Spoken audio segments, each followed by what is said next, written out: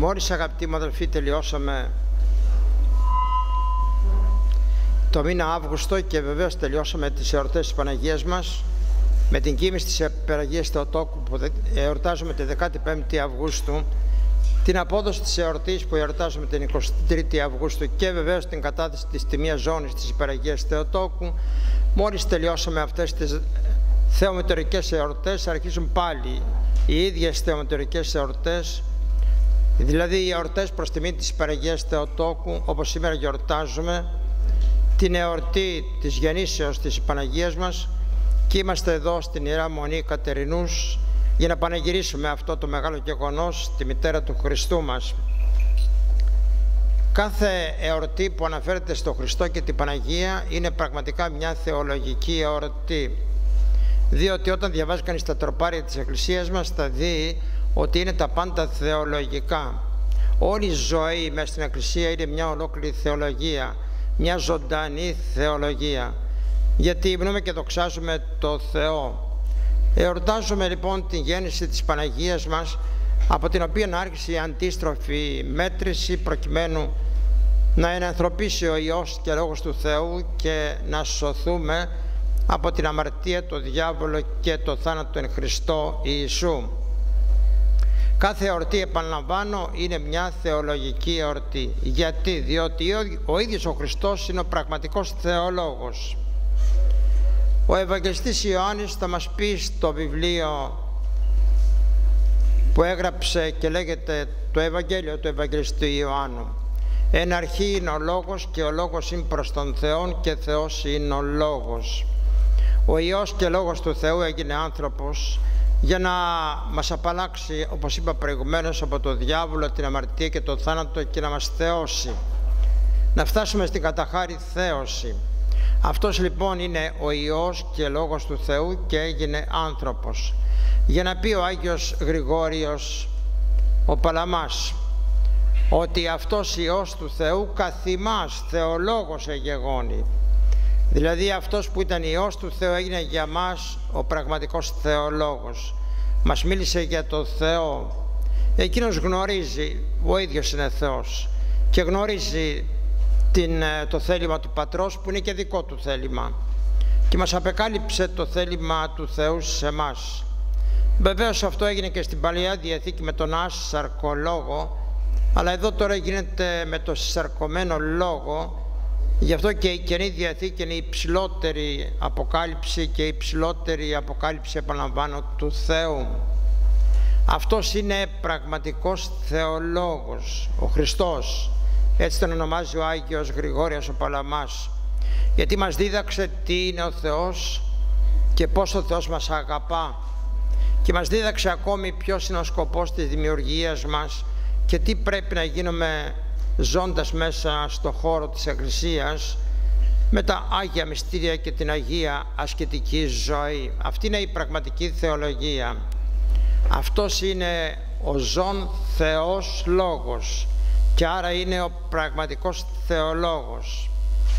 Και η μητέρα του Χριστού είναι η θεολογία, είναι η πραγματική θεολογία. Η μητέρα του Χριστού, η Παναγία μας, όπως λέει πάλι ο Άγιος Γρηγόρης ο Παλαμάς, είναι στο μεθόριο μεταξύ ακτίστου και ακτιστής φύσεως.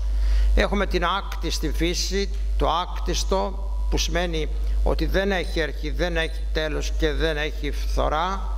Και έχουμε το κτιστό το οποίο έχει μια συγκεκριμένη αρχή αλλά ο Θεός θέλει ειδικά και τον άνθρωπο να μην έχει τέλος. Η Παναγία λοιπόν είναι κάτι το υψηλότερο από όλους εμάς από όλη την κτήση η Παναγία είναι το μεθόριο μεταξύ ακτίστου και κτιστής φύσεως γι' αυτό και είπα εφόσον ο Χριστός είναι ο αληθινός και ο πραγματικός θεολόγος η Παναγία μας είναι η πραγματική ζωντανή θεολογία. Όταν μιλάμε για θεολογία εννοούμε το λόγο περί του Θεού. Είναι αυτή η οποία μας διδάσκει για το τι είναι ο Θεός. Ποιος άλλος μπορεί να μας το πει αυτό παρά μόνον η Παναγία μας; Η οποία είσαι το μυστήριο αυτό της θεολογίας μέσα στην ύπαρξή της, μέσα στην κοιλία της, παράδεισος και γάρ ή εκείνης γαστήρ εδείχθη νοητός ενώ το θείο φυτών φαγόντες ζήσομεν λέγει ο Ιερός Υμνογράφος. Δηλαδή η κοιλία της Παναγίας μας έγινε ένας πραγματικός παράδεισος και μέσα ήταν το δέντρο της ζωής.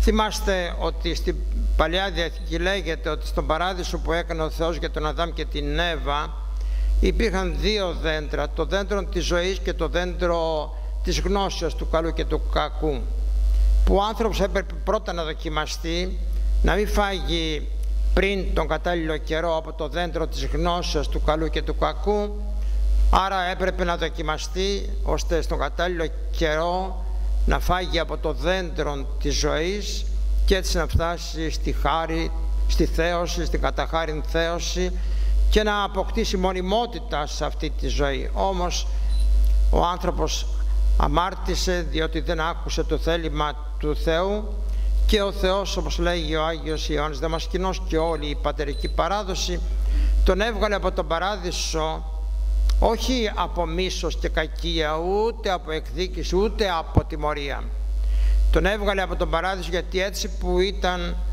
αφού ημάρτησε δεν μπορούσε να φάγει από το δέντρο της ζωής γιατί αν έτρωγε από το δέντρο της ζωής θα ήταν πάντοτε συνεχώς δηλαδή σε αυτή την κατάσταση της αμαρτίας και δεν θα υπήρχε δυνατότητα αλλαγής από αυτήν την κατάσταση. Οπότε έρχεται τώρα το δέντρο της ζωής που είναι αυτός ο ίδιος ο Χριστός και έρχεται και μπαίνει μέσα στην κοιλία της Παναγίας μας και έχουμε και εμείς τη δυνατότητα τώρα να κοινωνούμε το σώμα και το αίμα του Χριστού. Επομένως, ο Χριστός είναι ο πραγματικός και ζωντανός θεολόγος.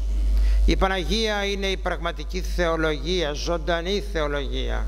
Γιατί μας διδάσκει για το Θεό. Τι είναι ο Θεός; Ποιος πρώτος μας δίδαξε; Με διαφόρους τρόπους.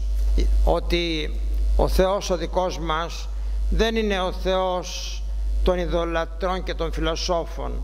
Αλλά είναι ο Θεός των πατέρων ημών είναι ο άσαρκος λόγος στην Παλαιά Διαθήκη που έλαβε σάρκα και έγινε σε σαρκωμένος λόγος. Και πώς, αυτό έχει, το, είναι, έχει μεγάλη σημασία και είναι το σημαντικό, πώς μας το δίδαξε αυτό η Παναγία μας. Μας το δίδαξε πρώτα πρώτα με τη σιωπή της. Η σιωπή την οποία έκανε η Παναγία είναι η μεγαλύτερη θεολογία. Το να μάθει κανείς να σιωπά μπροστά στο μυστήριο του Θεού. Έπειτα είναι μας το δίδαξε με την ταπείνωσή της. Ήταν η άκρα ταπείνωση του Χριστ, της Παναγίας όπως και ήταν και η άκρα ταπείνωση του Χριστού. Η Παναγία ήταν στο άκρον ταπεινή και παρέμεινε στην Εκκλησία χωρίς να διεκδικήσει κανένα αξίωμα μέσα στην Εκκλησία παρά το ότι ήταν η μητέρα του Χριστού.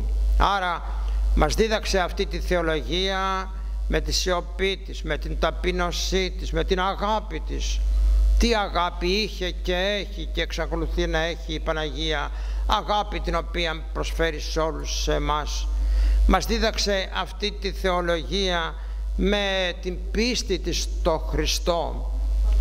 Και φυσικά μια αγάπη η οποία φτάνει και μέχρι τη θυσία και την προσφορά και ανέβηκε μέχρι το Σταυρό και παρέμεινε μέχρι την τελευταία στιγμή επάνω στο Σταυρό και ο Χριστός την παρέδοκε στον αγαπημένο του μαθητή, το μαθητή της αγάπης και το μαθητή, τον παρθένο μαθητή, τον Ευαγγελιστή Ιωάννη, όταν του είπε «Ιδού η μήτρη σου» και στον Ιωάννη, όταν είπε στη μητέρα του «Ιδού ο Υιός σου» και στον Ιωάννη είπε «Ιδού η μήτρη σου».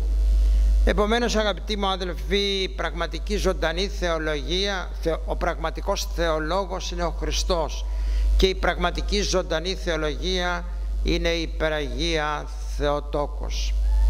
Και είναι πολύ σημαντικό αυτό να λέγεται σήμερα γιατί στις ημέρες μας παρουσιάστηκαν πολύ αυτοχειροτόνητοι θεολόγοι. Υπάρχουν μερικοί άνθρωποι που ούτε έχουν διαβάσει, ούτε έχουν ασχοληθεί, ούτε έχουν εμπειρία του Θεού. Γιατί για να μπορεί κανείς να μιλήσει για το Θεό πρέπει να έχει πείρα και εμπειρία του Θεού. Γι' αυτό και οι Άγιοι λέγονται οι πείρα μεμοιημένοι. Είναι αυτοί οι πείρα μεμοιημένοι. Είναι αυτοί οι οποίοι μοιήθηκαν με την πείρα στη γνώση του Θεού. η πειρα μεμοιημενοι ειναι αυτοι οι οποιοι μοιηθηκαν με την πειρα στη γνωση του θεου ειναι αυτοι οι οποιοι μοιηθηκαν με την πειρα στη γνωση του θεου ειναι αυτοι οι οποιοι μοιηθηκαν με την πειρα στη γνωση του θεου ειναι αυτοι οι οποιοι μοιηθηκαν με την πειρα στη γνωση του θεου και υπάρχουν σήμερα πάρα πολλοί θεολόγοι οι οποίοι νομίζουν ότι μπορούν να είναι θεολόγοι επειδή διάβασαν μερικά βιβλία ή επειδή σπούδασαν την ακαδημαϊκή θεολογία. Άλλο είναι η ακαδημαϊκή θεολογία και άλλο είναι ο σκοπός της ακαδημαϊκής θεολογίας. Ο σκοπός της είναι να μας δείχνει τι είναι η Εκκλησία, ποια είναι τα ρεύματα τα οποία επικρατούν σήμερα στο χώρο της κοινωνίας, ώστε να βοηθήσουν τους ανθρώπους, τους θεολόγους, να γίνουν κληρικοί, να ξέρουν περίπου τους ανθρώπους οι οποίοι ζουν στην κοινωνία. Άλλο είναι η ακαδημαϊκή θεολογία, η λογική θεολογία και άλλο είναι η εμπειρική θεολογία, η θεολογία εξ εμπειρίας. Η Παναγία ήταν η πραγματική θεολόγος και εκείνη είχε τη θεολογία και μας διδάσκει αυτή τη θεολογία. Ενώ σήμερα υπάρχουν πολλοί αυτοχειροτώνητοι θεολογοί, θεολόγοι τους οποίους δεν έχει κανονίσει, δεν έχει καθορίσει κανείς αν πρέπει να είναι θεολόγος. Μόνοι τους ονομάζουν τον εαυτό τους θεολόγο και κάνουν το κάνουν το δάσκαλο σε όλους ακόμη και σε τους ποιμένας. Κάνουν το δάσκαλο ακόμη και σε θεολόγους και σε, συγγνώμη, και σε επισκόπους και είναι στην εκκλησία.